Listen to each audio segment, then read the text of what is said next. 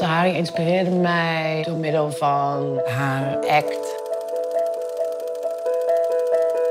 Haar roep was eigenlijk ook nog veel groter dan haarzelf. Zij verkocht haar lichaam door te dansen en daarmee reisde veel. En in die tijd was het natuurlijk echt wel een groot taboe om überhaupt een danseres te zijn. Dat vind ik heel bijzonder.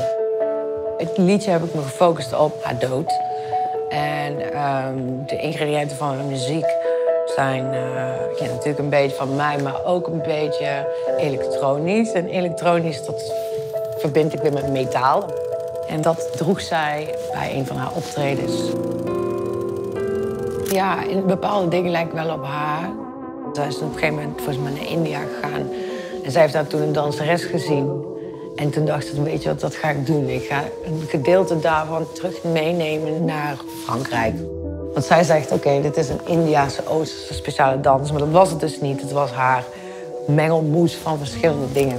En dat heb ik, denk ik wel. Ik pak ook altijd verschillende dingen van verschillende uh, genres en verschillende stijlen. En dat meng ik met elkaar.